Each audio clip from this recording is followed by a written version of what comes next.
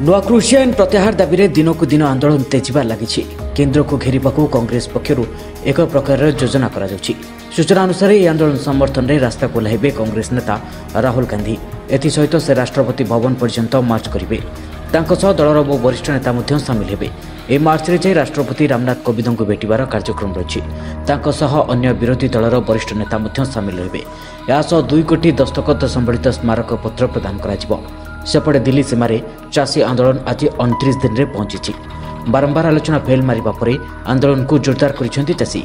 ସରକାର ଆଲୋଚନା ଚାହୁଁଥିବା ବେଳେ ଆଇନ ପ୍ରତ୍ୟାହାର ଦାବିରେ ଅଟଳ ରହିଛନ୍ତି ଚାଷୀ।